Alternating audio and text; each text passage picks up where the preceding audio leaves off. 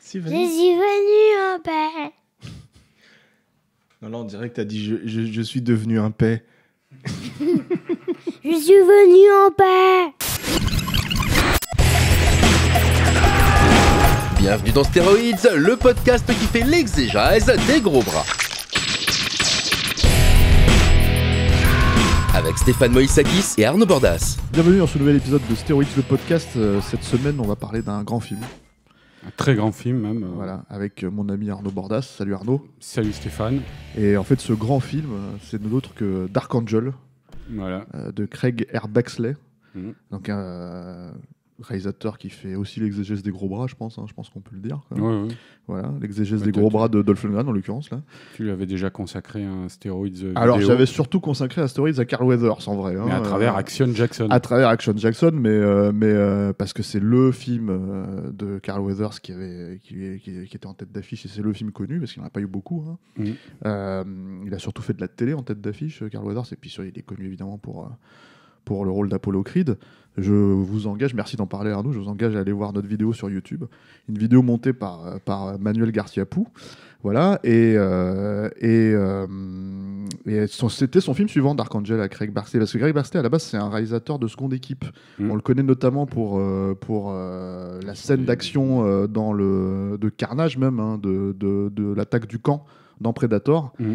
Qui est une scène euh, problématique à plein d'égards d'ailleurs dans Predator, hein, et on fait une petite aparté, euh, parce que c'est justement la raison pour laquelle McTiernan a exigé ensuite de ne pas avoir de seconde équipe sur le film et de pouvoir tourner toutes ces scènes d'action lui-même, notamment sur Die Hard et aussi sur Predator, le reste, euh, le reste du tournage. Quoi. Quand il a re-récupéré, tu Predator s'était arrêté pendant un temps et en fait, euh, il a exigé en fait de pouvoir revenir parce qu'il n'était pas du tout content de la façon dont, on- dont la scène était filmée. Et c'est vrai que c'est une grosse scène de bourrin, mais qui détonne totalement euh, de- du reste du film. C'est une scène qui, quand même, euh, pour les points positifs, on va dire, mais, mais pas mal en valeur le travail des cascadeurs. Quoi. Certes, bah, Mm. c'est aussi son, son- sa- sa- sa partie aussi, quoi, Craig Mm. Baxley. Quoi. Mm. Euh, grand réalisateur à mulet. Euh, et je pense qu'en fait. euh, Il a un mulet, euh, Craig. Ah bah non seulement il a un mulet, mais en plus il aime bien filmer les mecs à mulet parce que quand tu regardes euh, Dark Angel, c'est c'est c'est la fête quoi. Ah oui, oui, c'était l'époque hein, aussi qui voulait ça. Quoi. Ouais, bah, moi, je pense qu'il y avait d'autres personnes qui n'avaient pas forcément des mulets, c'était pas plus mal non plus quoi. Alors Dark Angel, on pitch? On pitch. Tu pitch un peu Non, tu pitch. Bon, c'est moi qui C'est pitch. toujours toi qui pitch. Moi, j'aime bien te, te laisser te démerder. Avec ta- Alors bon, c'est c'est euh, c'est Dolph Lundgren. euh, C'est un- il joue un flic, euh, mais il est mal dans sa peau. Mais en fait, tu commences à prendre des circonvolutions pour. Alors, c'est euh, Dolph Lundgren qui joue un flic mal dans sa peau. confronté à un ex- non parce qu'il n'est pas particulièrement mal dans sa peau euh, confronté à un extraterrestre qui ensanglante les, les, les rues de sa ville euh, je crois que c'est tourné au Texas hein, euh, C'est tourné à Da- Houston? Ouais peut-être Ouais. ouais, ouais. ou Dallas, je sais plus. Ouais, je sais plus. En tout cas, c'est une grande ville du Texas. Et ne, ne rallonge pas mon pitch, s'il te plaît, s'il te plaît, Stéphane. Donc, il est confronté à un, à un alien comme ça, ve- venu de l'espace, qui, qui ensanglante les rues de sa ville. Et voilà, c'est le pitch. T'as vu ça un Ah peu ouais, incroyable. T'as vu ça Non, mais bon, pour, pour développer un tout petit peu plus, on lui adjoint, euh, il y a un côté buddy movie dans le film, euh, on lui adjoint un agent du FBI qui est joué par Brian Benben, euh, euh, assez mauvais acteur de, de cette époque-là, qui a connu son heure de gloire avec la série Dream On. là. Euh, et donc, il va devoir composer, euh, parce que lui, c'est un flic de la rue, un coriace, un, un gros dur, un peu cool, tu vois, et tout. Et Dolph l'autre, Lundgren. hein. Dolph Lundgren. Et l'agent du FBI interprété par Ben Ben, euh, lui, c'est un, type en costard-cravate qui respecte les règles, qui est totalement, euh, euh, comment on appelle ça, la psychorigide, tu vois, tout ça. Et, euh, et voilà. Et en gros, et puis on peut rajouter aussi qu'en plus du personnage du méchant alien qui, qui dégomme les gens à coups de compact disque, là, euh, il y a... que parce qu'il y a une raison pour laquelle il est là. Quoi. Oui, il y a une raison. C'est en gros, c'est un dealer de l'espace. Il vient euh, prélever euh, dans le cortex, je crois, des, des, des gens. L'endorphine. Quoi. Euh, voilà, euh, pour, euh, qui est une drogue euh, précieuse dans le reste de la galaxie. Et, euh, et il, est, il est pourchassé sur le même modèle un peu que le Terminator avec Kyle Reese euh, par un gentil alien euh, qui t'a beaucoup plu, Stéphane, hein, de- Mais ce mec, il a une touche quoi. qui, est, qui est interprété par pas un acteur, hein, Jay Bilas, il s'appelle, c'est un géant de 2 mètres là. qui a une tête pas possible dans le film. C'est une sorte de, de géant euh, hydrocéphale euh, avec une coupe au bol là, Enfin, en haut, enfin un mulet et la frange. Pas de body shaming, s'il te plaît. Ah non, mais alors, et- non, mais dès que tu le vois débouler à l'écran, c'est magnifique. Ouais, quoi. puis il a une coupe de Il- douille euh, totale, quoi. Ouais, et puis euh, et- bah, je te dis, ouais, la frange et le mulet, c'est c'est c'est- y a pas y a pas mieux quoi. C'est carton plein là. bon, et- Combinaison fatale, quoi. voilà. Et, et, et le mec, euh, c'est vrai que dès qu'il déboule à l'écran, euh, euh, son, son, euh, son, son regard perçant et intelligent euh, de- de- frappe le spectateur. Quoi, tu vois, il exhale euh, un certain charisme. euh. Bon, évidemment, pas du tout. Quoi, tu vois, c'est, c'est juste il a un regard de veau, le mec. Quoi, et on n'y croit pas une seconde. Enfin, body je- shaming, quoi. je parlais, non, mais je parlais de Kyle Ah Reese. bah, il est pas, il est bon, il est pas aidé c'est pas Kyle Reese, quoi, tu vois, Ah. c'est pas Michael Bean, le mec. Ah hein. non, c'est clair. Non, mais il est pas aidé, il est pas aidé par. Mais de toute façon, enfin voilà, le film, il- c'est ce qui est assez marrant, c'est que donc c'est un film, euh, c'est tu croises, on va dire, un film policier euh, basique, quoi, un buddy movie basique, avec un gros élément fantastique qui était un de ces trucs qui se faisaient dans les films d'action de l'époque, quoi. Bon, en Euh, gros, c'était faire, je pense, un, un mélange de Terminator, de Predator et de Buddy Movie, quoi.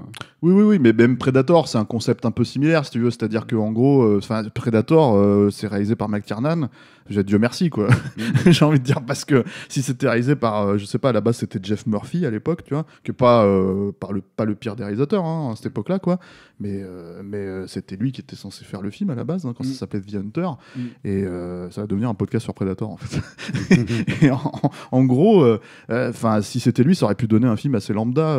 voilà, c'est- McTiernan qui l'a poussé vers les rives de l'abstrait, quoi, Mm. limite, hein, et de- du survival pur et dur, et du retour à l'état sauvage, quoi. Mm. Il n'y a pas du tout de retour à l'état sauvage dans Dark Angel, hein, je pense qu'on peut le. Ah, c'est un film anthropologique quand même, moi je pense. Quoi. Il y a quand même une observation euh, euh, des, des- des flics en milieu urbain. euh. la nature humaine. non, mais alors, et donc en fait, dans ce dans ce high concept un peu un peu un peu un peu foireux, il Ouais. y a euh, toute la bourrinitude absolue de, de Craig Baxley. Parce que alors, il faut, faut préciser ce truc-là, c'est que le- moi, moi, une idée que j'aime beaucoup, enfin le gamin de 12 ans qui a vu le film à l'époque aimait beaucoup, quoi. C'est euh, le mec qui descend avec un flingue qui est un de ces flingues que tu voyais à l'époque dans les films d'action, hein, tu sais, les espèces de, je crois que c'est ça, il faudrait que je retrouve le nom du truc, quoi, mais en fait modifié parce que c'est un flingue euh, euh, qui, dès qu'il tire une rafale et qu'on entend son tac-tac typique, en fait, ça fait exploser des bagnoles entières, quoi. Et là, tu te dis, putain, mais c'est génial, tu vois. Moi, je me Ouais, dis, mais pourquoi ce flingue n'est pas dans tous les films, quoi? C'est un mélange de flingue et de lance-flamme en fait. quoi. C'est euh, assez. euh, ouais, de lance-grenade ou de lance, Mm. de lance-roquette, je sais pas, parce qu'en fait, le truc, c'est que t'as Ouais, pas, pas de roquette partir, mais par contre, le résultat, ouais, c'est Voilà, et du coup, t'as plein de plans avec, euh, comment il s'appelle, Mathias Hughes. Euh, Moi, je dis Mathias Hughes, mais je sais pas si comme ça qu'on prononce. C'est l'acteur euh, qui interprète. euh, Le Dark Angel, hein, je pense que c'est voilà, lui le- Dark Angel, non? Oui. Parce que le, le film n'est pas clair là-dessus, tu vois. Je sais pas, bah, après Dolph Lundgren, il s'éteint en brun, là, donc C'est vrai. C'est peut-être lui aussi. Voilà. Bah, il s'éteint- il s'éteint en brun parce qu'il venait de faire Punisher, pour lequel il était obligé de se teindre en, en brun.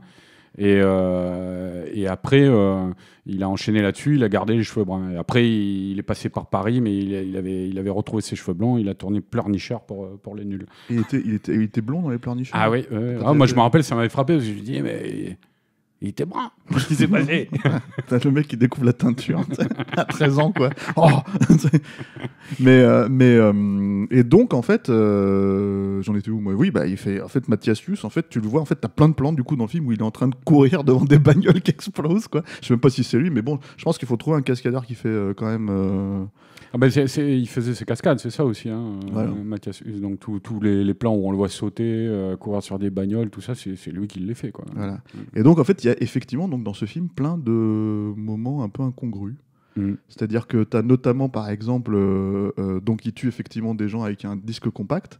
Et là, tu as des plans à la simili Sam Raimi, j'ai envie de dire, quoi, où tu vois la caméra qui est posée sur. Scott Spiegel. Quoi. Ouais, voilà, tu qui, qui est posée sur, euh, sur, le, sur le disque, en fait, qui part dans tous les sens et qui, qui tranche les, gauches- les gorges des mecs et tout ça.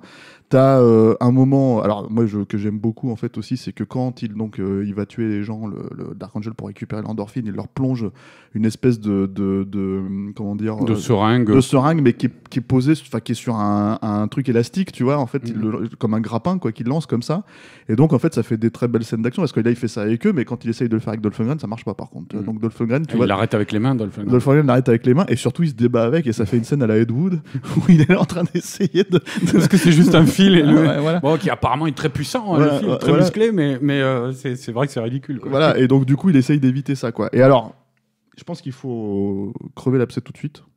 Faut le dire, Arnaud. Allons-y, Stéphane, n'ayons pas peur des mots. Voilà, c'est un film qu'il faut voir en VF.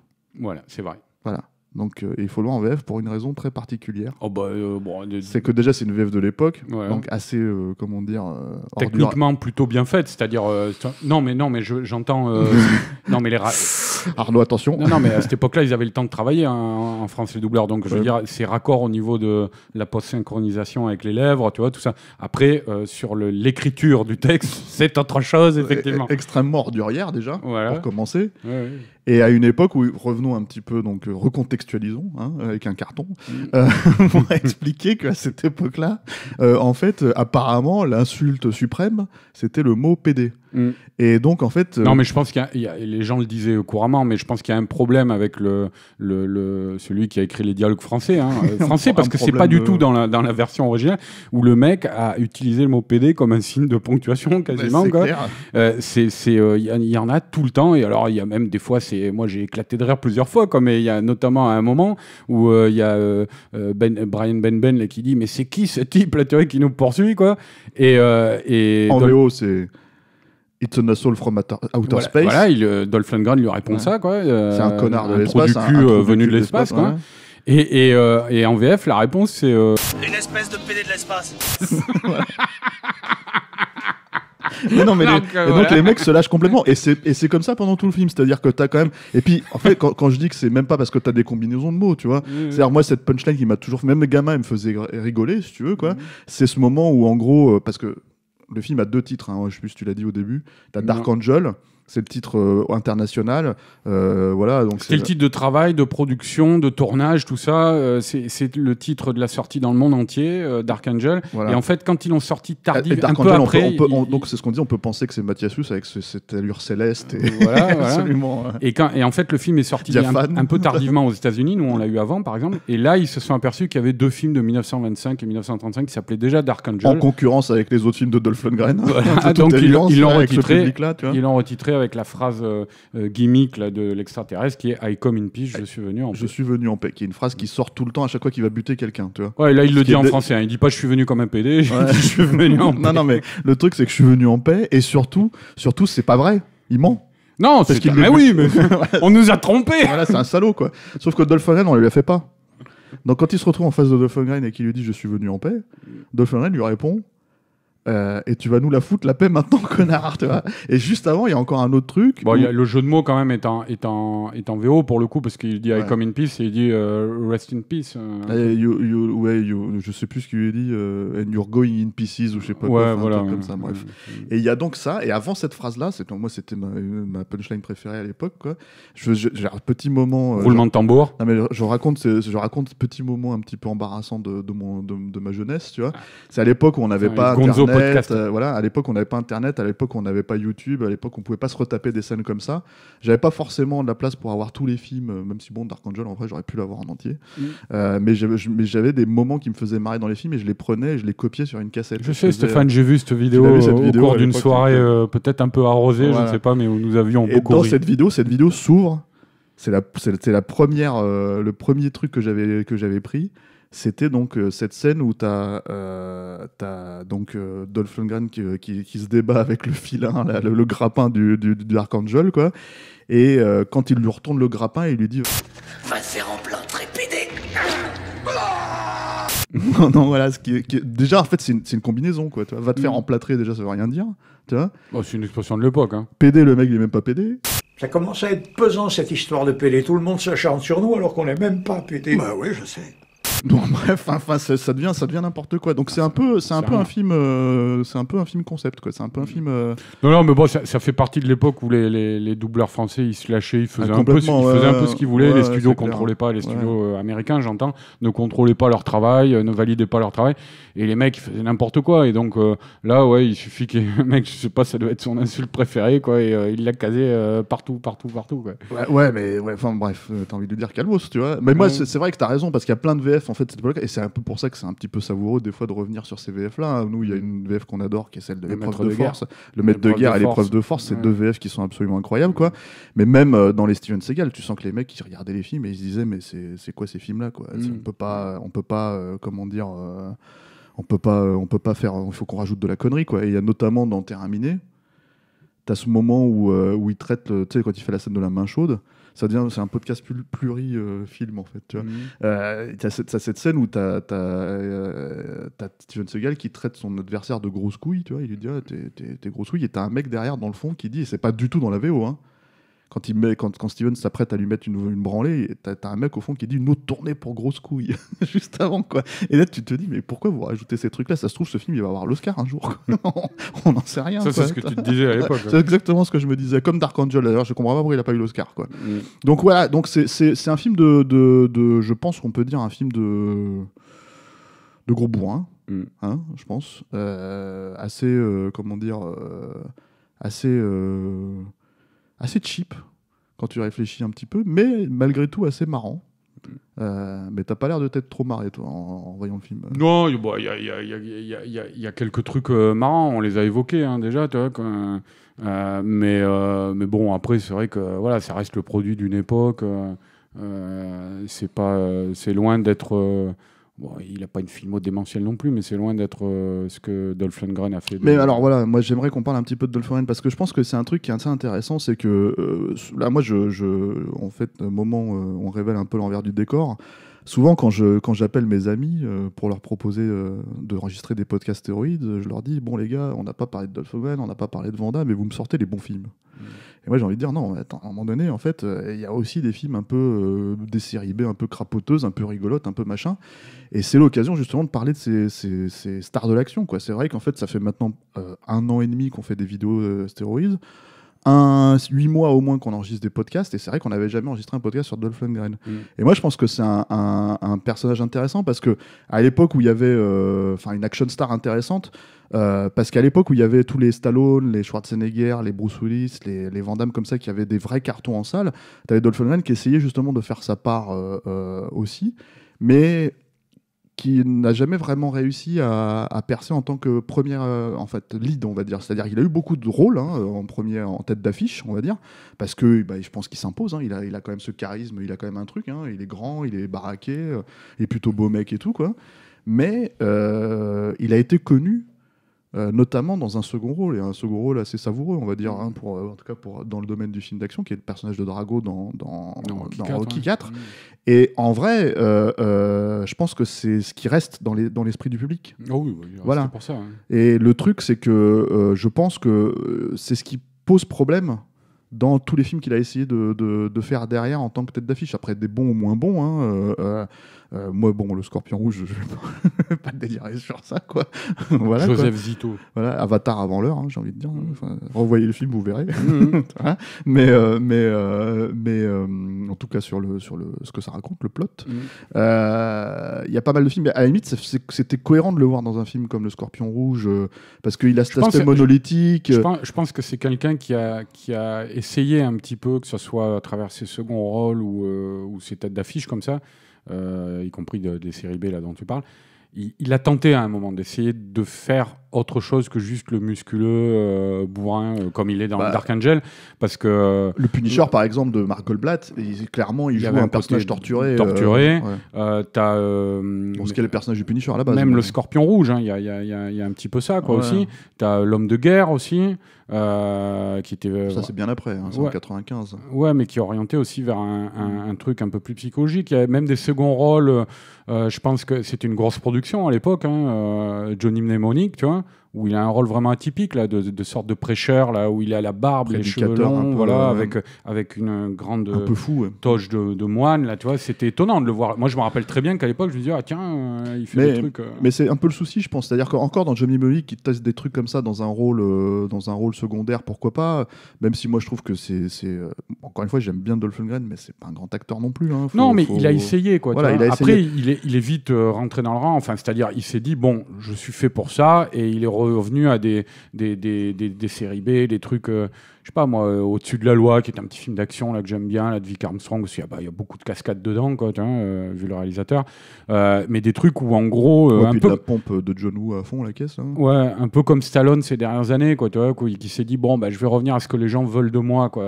Je vais pas essayer de. Mais à une époque, il a, il a tenté un peu d'essayer de faire quelques. Mais quelques Stallone, ça a été une vraie tête d'affiche avec des vrais cartons. Oui. Alors ouais. que Dolph Lundgren, justement, en fait, c'est quelqu'un Ah, qui, hein. qui- c'est quelqu'un qui doit sa carrière en- déjà à Stallone, bon, dans l'absolu, hein, parce qu'à la base c'est un mannequin, puis en fait il a été, euh, il était, euh, comment dire, euh, Ah, c'est une tronche quand même. c'est hein, une je tronche aussi, mais, a- c'est- je mais- crois qu'il est diplômé de, de, de physique chimie ou un tout truc à fait, comme ça, mais, hein. mais c'est une tronche à la base, et puis ensuite il a un peu fait le mannequin parce qu'il a le physique qui va avec, quoi. Il faut, faut être honnête, quoi. Et puis il était, c'était le, le, le, le mec de Grace Jones dans les années 80. hein. Mm, il a mm. fait, une petite apparition dans, dans, euh, justement dans Dangereusement Vôtre. Mm. Euh, il joue un homme de main.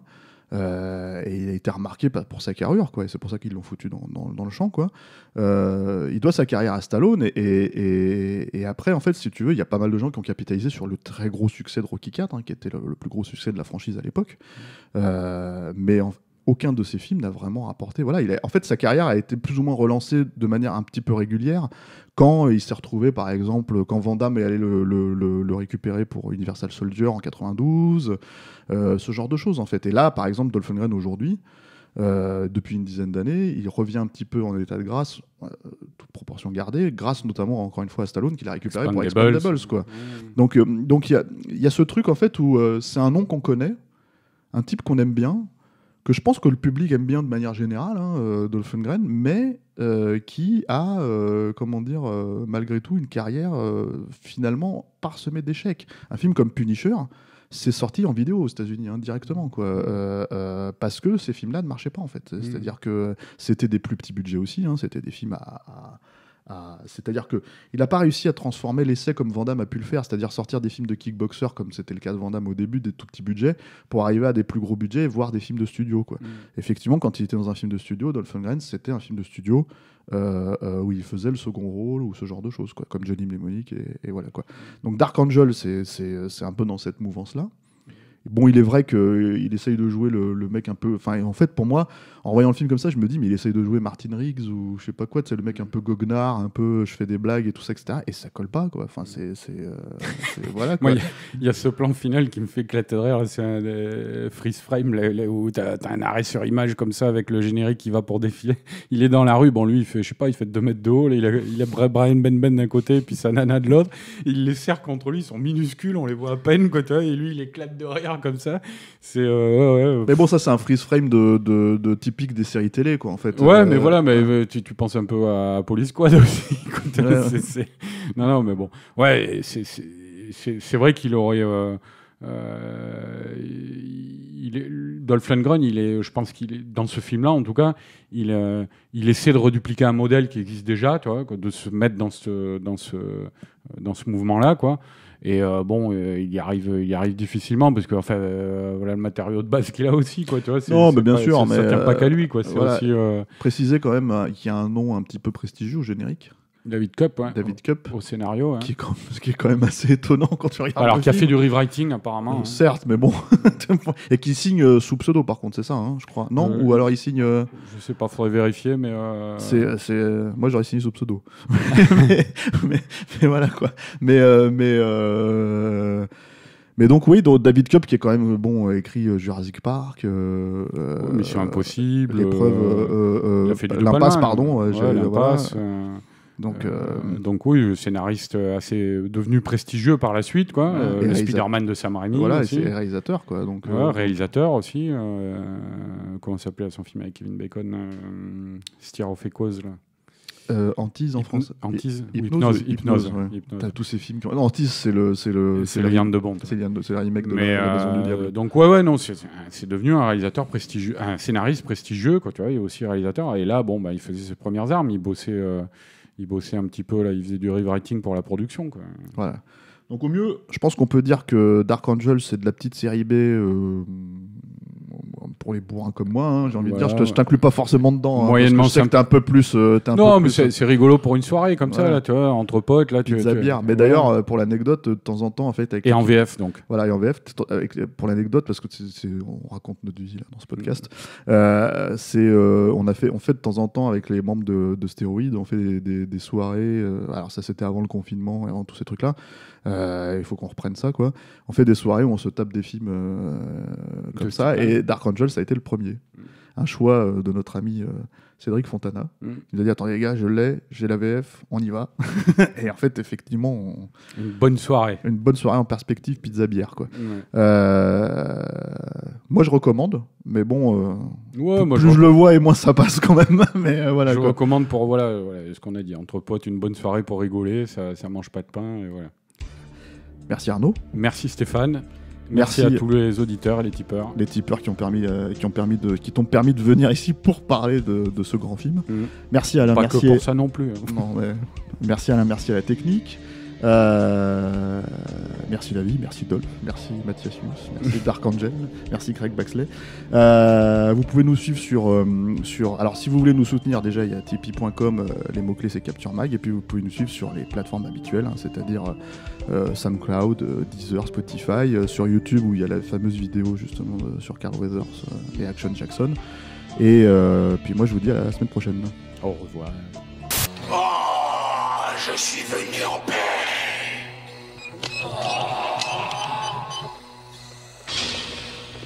Et tu vas nous la foutre la paix maintenant, connard.